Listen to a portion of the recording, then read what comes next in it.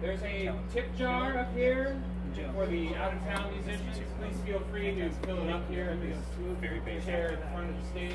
Thank you. And let's hear for Dingo. Thank